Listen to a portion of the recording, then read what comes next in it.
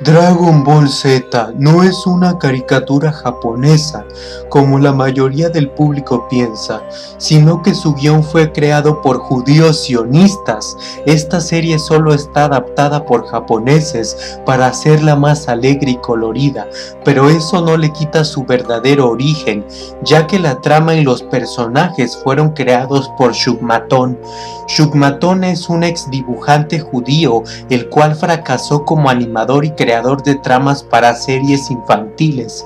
Harto de sus derrotas, decidió meterse en el bajo mundo de la brujería, recorriendo el mundo aprendiendo todo tipo de filosofías místicas y esotéricas, como el hinduismo, el budismo, el taoísmo, creencias que evidentemente están plasmadas en Dragon Ball.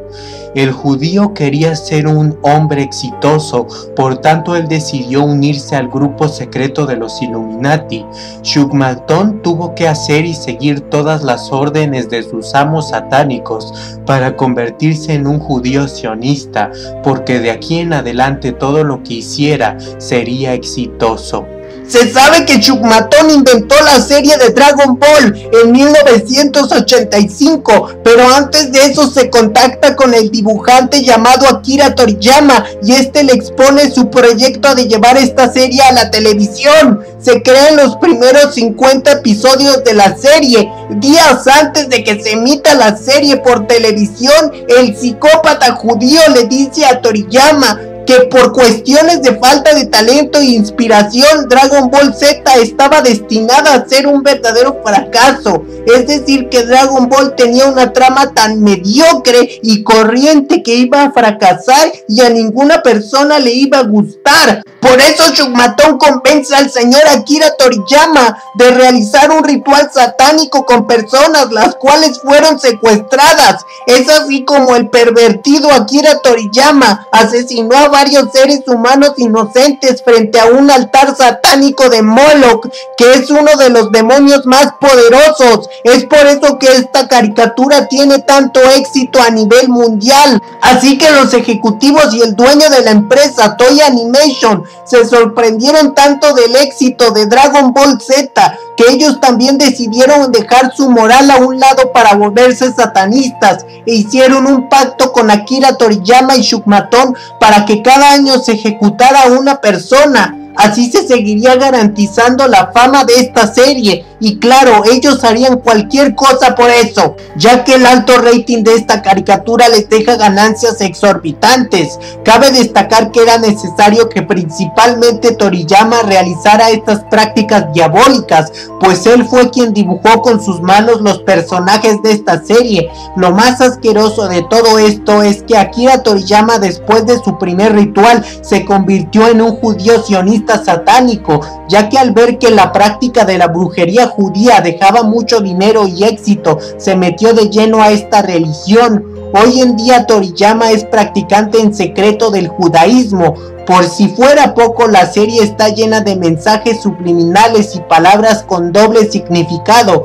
Por ejemplo, en la serie hay un sujeto que se llama Mr. Satan. Luego también hay un auto que nos muestra el código de la bestia 666. La historia es muy sádica y corrupta, pues nos narra la historia de un niño que se perdió de sus padres, queda huérfano y este es entrenado por un hechicero anciano, el cual le enseña artes marciales chinas el niño obtiene poderes gracias a la práctica de las artes marciales y la meditación profunda, las cuales le otorgan un poder maligno. El niño practica tanto los movimientos ocultos del kung fu que al final le termina por salir una cola muy extraña, pero no es física, sino espiritual. Por ende, el niño fue poseído por un espíritu con cola por practicar los movimientos esotéricos del kung fu. Dragon Ball es una serie satánica. Bien nos dice la Biblia que todo lo que es creado por el hombre es inmundo imperfecto y esta serie nos lo demuestra. Una serie que deja muy malos mensajes, pues la caricatura se trata de que unos superhéroes se la pasan matando a gente inocente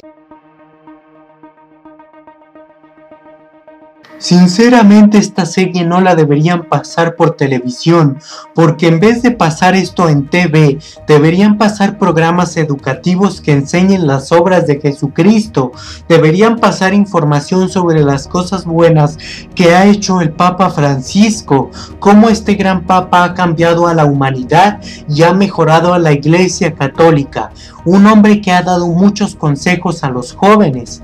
Ah, pero eso no lo mencionan porque no les conviene. Mi consejo es que ya no vean este veneno audiovisual llamado Dragon Ball. Ahora que sabes que personas inocentes fueron sacrificadas para el éxito de esta serie, ¿seguirás viéndola?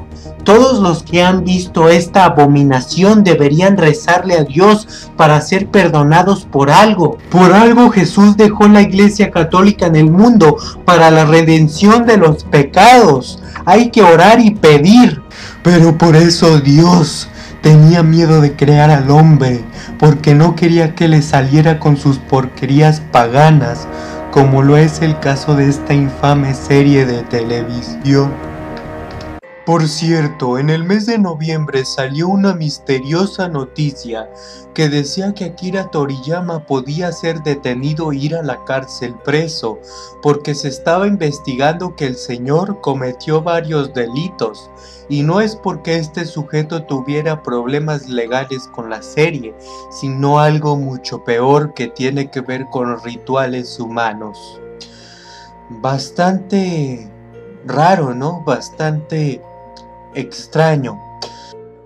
Curiosamente, también se le ha relacionado con delitos de pedofilia que están ligados al satanismo, y esto no sería nada raro, ya que el señor es un depravado sexual, pues hace tres años la gente lo vio masturbándose en una sala de cine. Lo más terrible de todo esto es que en esa función había niños pequeños, Aquí estamos viendo una imagen de la nota para que vean que esto es completamente real. Esto nos demostraría que el señor es un psicópata sexual. Esto nos demuestra que todo lo malo que se dice sobre Akira Toriyama es una realidad.